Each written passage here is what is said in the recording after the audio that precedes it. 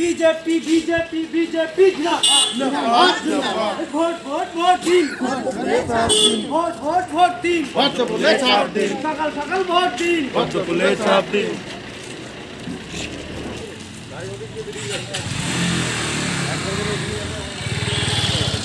নতুন নবদ্বীপ গড়ার লক্ষ্যে কি বলবেন?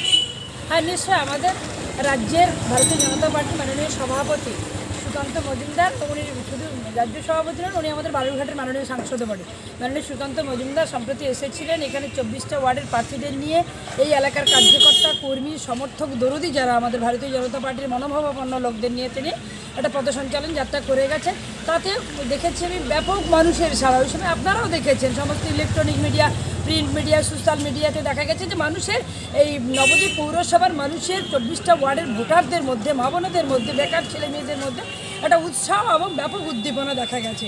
এবং আজকে যখন আমি চব্বিশ নম্বর ওয়ার্ডে আমাদের প্রার্থী, ভারতীয় জনতা পার্টির মনোনীত প্রার্থী মাননীয় অপর্ণা নন্দীর সমর্থনে যখন আমি বিভিন্ন এলাকা, বিভিন্ন গলিতে প্রচার করছি, বিভিন্ন বাড়ি বাড়ি গিয়ে একদম ডোর টু ডোর যখন ক্যাম্পেইন করছি আমাদের প্রার্থীকে নিয়ে, তখনও মা বোনেদের এবং যাদের সঙ্গে আমাদের সাক্ষাৎ হচ্ছে সমস্ত ভোটারদের অংশেরই হোক না কেন, আঠারো থেকে আশি যে সমস্ত অংশের ভোটারদের মধ্যে একটা ব্যাপক উৎসাহ এবং উদ্দীপনা দেখা যাচ্ছে।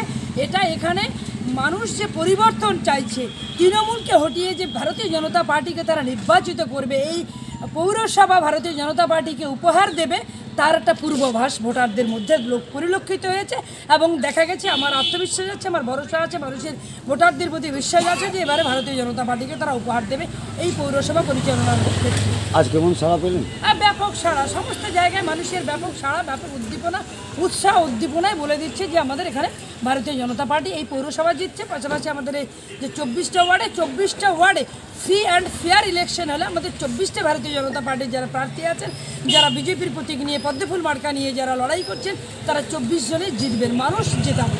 কোনো রকম আশঙ্কা করছেন ভোট লুটের? ভোট লুটের দেখুন শব্দ সম্প্রতি যে চারটা কর্পোরেশনে ভোট হয়ে গেছে Bidhannagar corporation Chandannagar corporation Siliguri corporation এবং আসানসোল কর্পোরেশন তাতে আপনারা দেখেছেন যে মৃত ব্যক্তিও ভোট দিয়েছে। দশ বছর আগে পনেরো বছর আগে এরকম ফলস ভোট দশ হাজার পড়েছে মিনিমাম দশ হাজার পড়েছে। বিধাননগর পৌরসভা, সমস্ত জায়গায় বুথ জ্যাম বুথ দখল করে এবং ফলস ভোট দিয়ে, মরা ভোটারও দিয়ে। তো এই সরকারটা যেরকম দুয়ারে সরকার প্রকল্প চালু করেছিল, দুয়ারে রেশন, দুয়ারে শিক্ষা, দুয়ারে মদ এখন চলছে, অনলাইনে মদের অর্ডার অর্ডার দিলে মদ আবারও খুলতে চলেছে লাল মাটির হাট। আগামী রোববার, অর্থাৎ তেরো তারিখ এবং কুড়ি তারিখ, এই দুদিন অরণ্য শহরে মহিলারা একত্রিত হয়ে তৈরি করেছে লাল মাটির হাট।